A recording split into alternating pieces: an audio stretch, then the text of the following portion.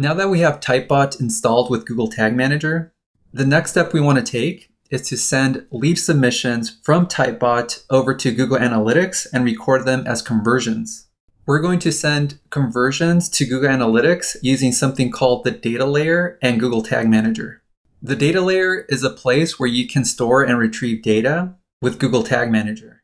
And once you have the data with Google Tag Manager, you can send it really easily to both Universal Analytics and Google Analytics 4.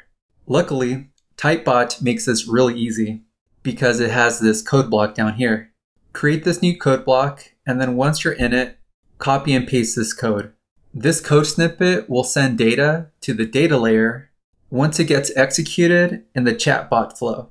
Right here, you can see that I scooted up this code block to be executed immediately after the chatbot starts.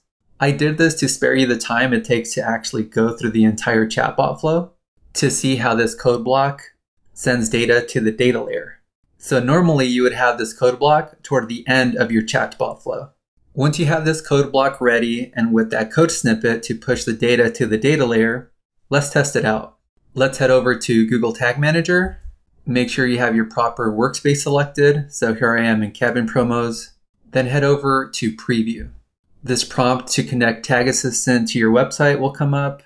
Make sure the website URL is correct and click Connect. Now this new tab was launched and you can see this Tag Assistant is working successfully. Let's move this aside because down here is where we have our chat bubble.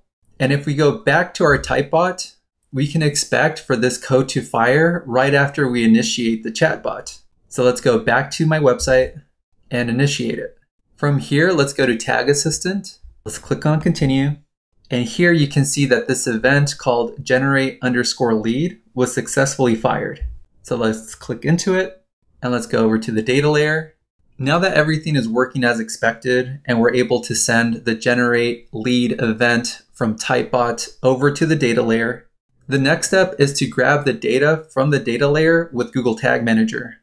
From there, we can push that data to both Universal Analytics and Google Analytics 4 in one go. I'll show you how to do that in the next video.